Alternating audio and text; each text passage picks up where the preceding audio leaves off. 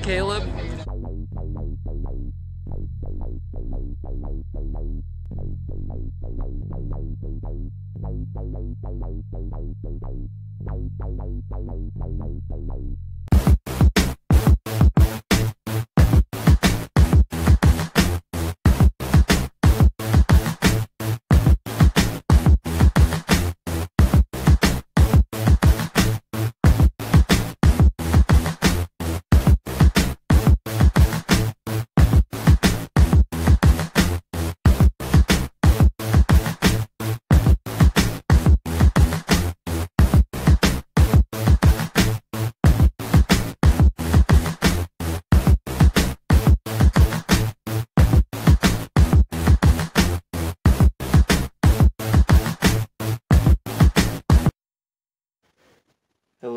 Day with Caleb here, and today, if you couldn't tell already, we are going to be doing uh, the first part of a new series I'm doing, uh, celebrities that I have met.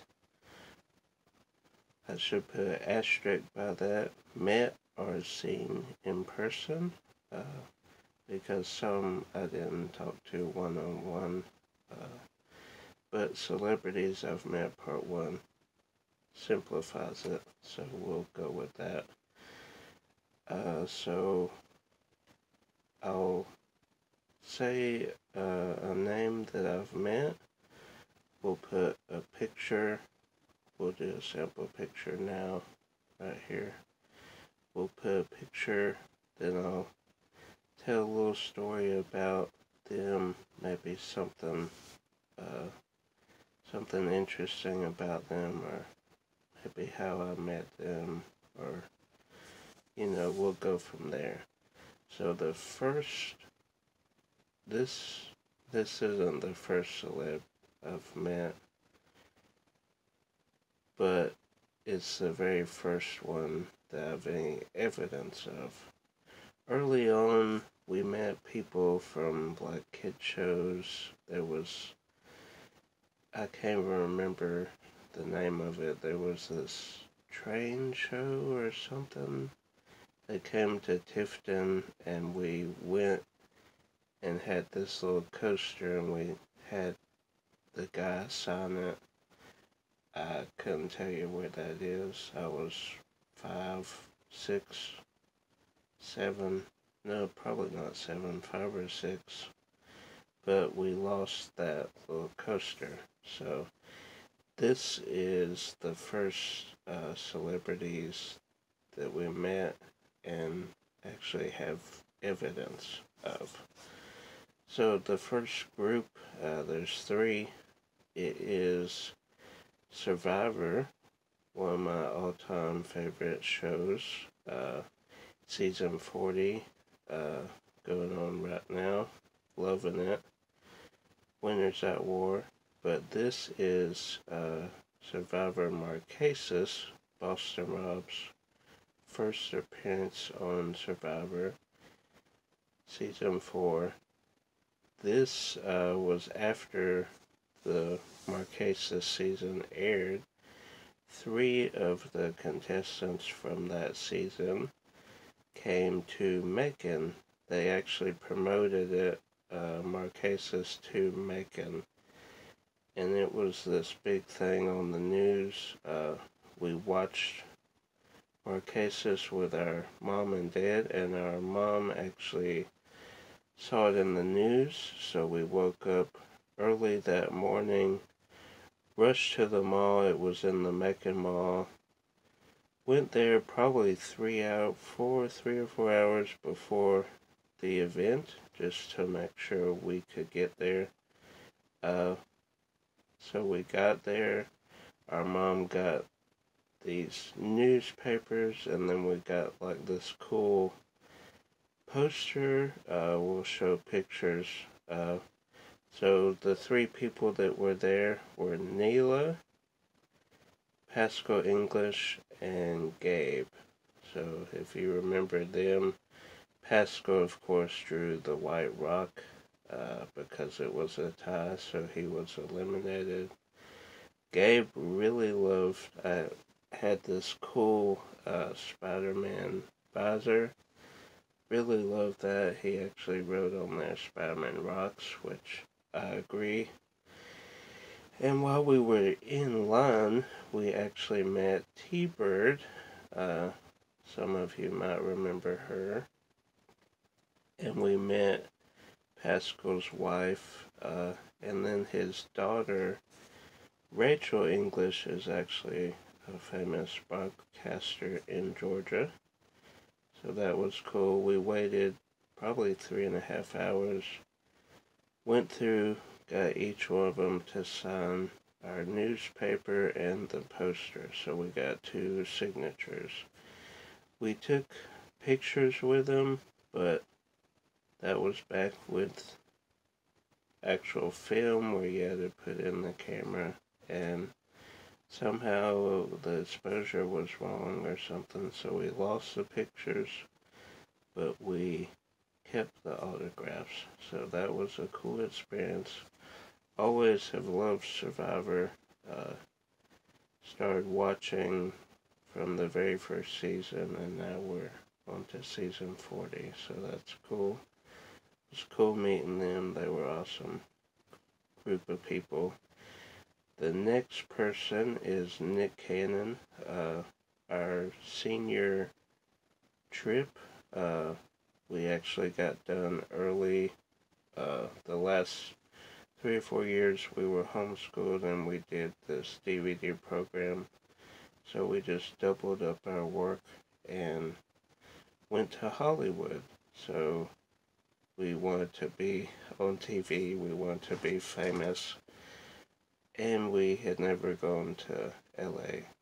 So the first day we were kind of exploring, and we look over, there's this radio station, and we see Nick Cannon. Nick Cannon, uh, we had just seen in Drumline, that was his big film that year. He had been in a couple other things, but we snuck a pic. I think it was a red light, so we kind of snapped a couple pictures. And then uh, left. So that that one we didn't meet, but we saw him. Next uh, is a twofer, Jay Leno and Salma Hayek. Hayek was the guest that day on the Tonight Show with Jay Leno. And I'm sure everybody in the audience uh, thought she was waving at them, but she looked up, waved directly at me. So, Selma, if you're watching, call me. So, Selma, and then uh, after the show, we went kind of uh, around to the back where they parked. Uh, we were hoping for Selma to see and talk to her. But Jay Leno was there, got in his van to do uh, the segment Jaywalking, where he asks people to answer questions, and most of them can't answer. So we stopped him, and he was kind enough to sign autographs for me and Josh, and uh, paparazzi got up real close, took a picture, and then they kind of took off. So that was really neat to see Jay Leno. This next group is uh, my uncle and dad went to Chicago. No, New York. They were uh, went to New York for something and they were going to see a Broadway show. So, kind of during the day, uh, they went through some things and they bumped into Davy Jones, the singer. So you can see a picture here. Then they saw John Lithgow, and I remember him from Shrek, obviously voice uh, from Shrek. but he's been in tons and tons of things. So they got a signature from Davy Jones. John Lithgow was doing Broadway at that time, so the mob kind of rushed him, so no signature. So that was cool that they got to meet them. Our Uncle Hank uh, kind of got us into meeting celebrities. He uh, he's met a ton of celebrities. He does background for film.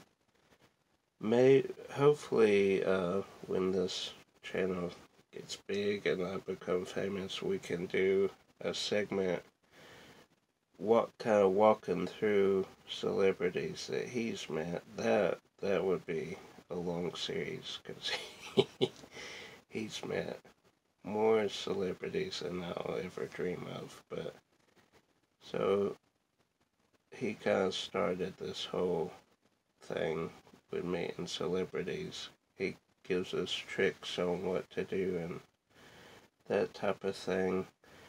So the next set, uh, we were in the audience for Till Death. Uh, you, if you haven't heard the show, uh, it only lasted three seasons, but Brad Garrett, of course, is from Everybody Loves Raymond, the older brother. So this was his new show, Till Death uh, it just started filming when we went there in 2007. So we were in the audience. Because uh, back then, you know, TV shows, they would have an audience for a laugh track. So they filmed the show during, well, let me back up. During the show, our mom and dad, we were kind of in the back, the last row, there were four rows of audience members. We were in the fourth row, kind of the middle. So, really couldn't do anything. But our parents somehow made it to where they were the front row.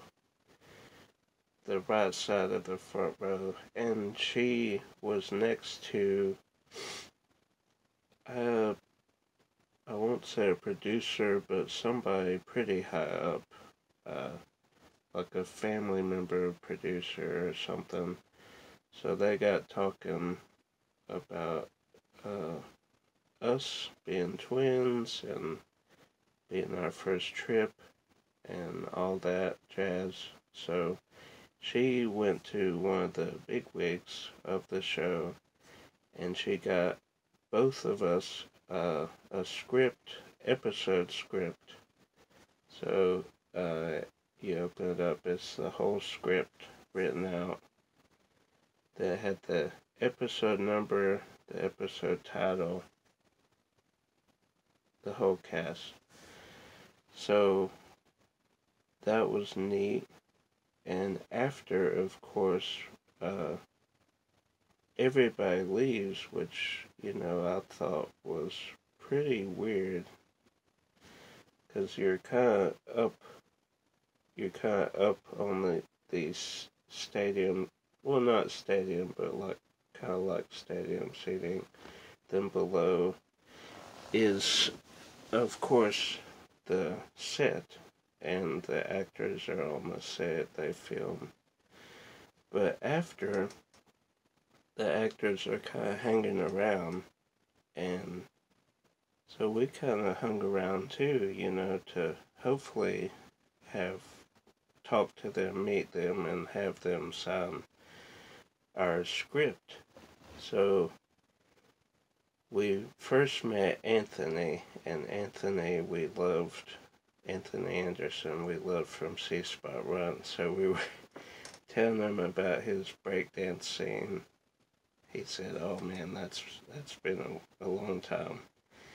Then Brad Garrett walks up, and he's almost eye level with us, and we're up on the stage. He is so tall, so got their signatures, and then we went back.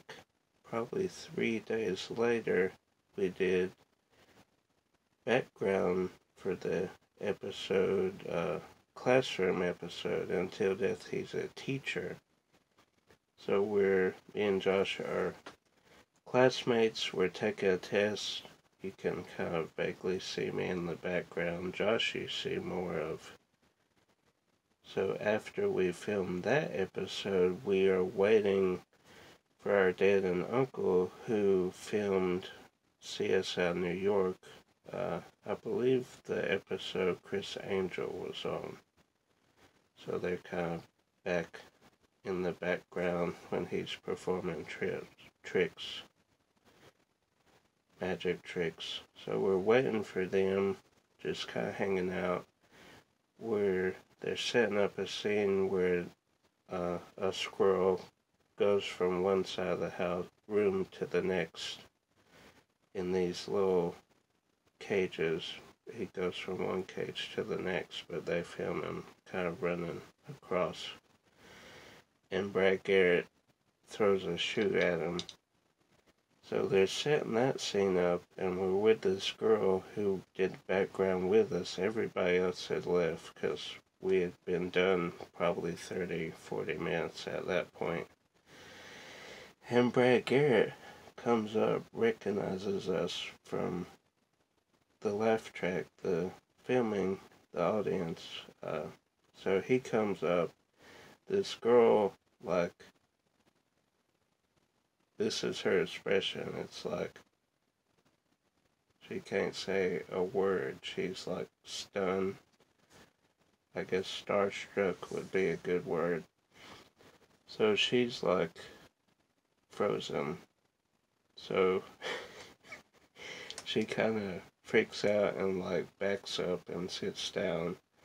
So we just start shooting the breeze with Brad, you know, like he's, well, he is our buddy, but you know, like, the only celebrities I really like got taken back by was, of course, this man here, which we'll talk about in a little bit.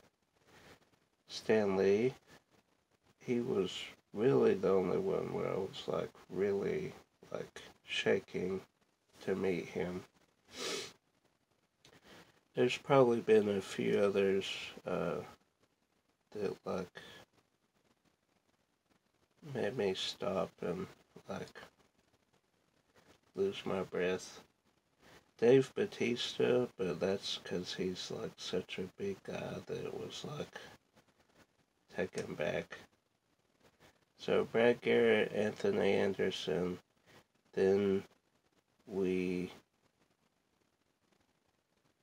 went to another set, Julia Louis Dreyfus and Wanda Sykes for her show uh, The New Adventures of Old Christine. We were in the audience. Didn't get a script that time, but we got them to sign. We had like a little booklet, autograph booklet, so we got them both to sign that. Both super nice. Wanda Sykes always funny, and that episode was was really funny. Then we filmed uh, Criminal Minds season two. The episode uh, is Jones, basically a female Jack the Ripper in Louisiana. So they're filming this Mardi, Mardi Gras scene, and uh, they dress you, wardrobe does before the the stars even get there. So since we were twins, the it was a husband and wife costume uh, costumer, I guess is the word.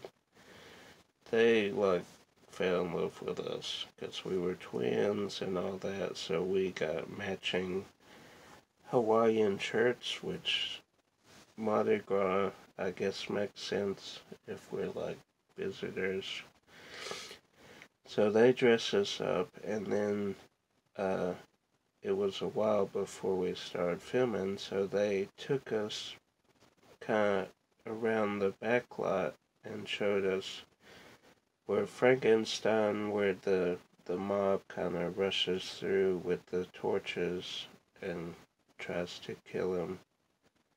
Saw that, saw Wolfman stuff, saw uh, Dracula stuff. So that was amazing to me because I'm a big Universal Monsters guy. So that that was like it for me. But then we started filming uh, scenes, and then the director, I, he, I don't know if they had talked or what, but he started putting us in like every, every scene was me and Josh like in the background walking back and forth. There's actually a shot where uh, they think the killer is going for this guy in the alleyway so before she's walking toward him, so we pass. And then uh, she hands him his wallet because she's not the killer. We pass again. So I thought that was always cool. so we met uh, most of the cast of Criminal Minds. Then, uh, during the taping of Till Death, it was our uncle and aunt's anniversary, and he he talked about how he had went to Hollywood years ago when Ray, Everybody Loves Raymond was still filming. It was their anniversary then. It was their anniversary now. So they got tickets. Uh, Brad Garrett, Ray Romano were doing a comedy tour and one of the stops was Atlanta. So Brad gave our uncle uh, tickets, so him and our dad went to Atlanta and they met Brad Garrett and Ray Romano and they got Ray to sign something for us. So he, we have an autograph from Ray Romano, so that's pretty epic.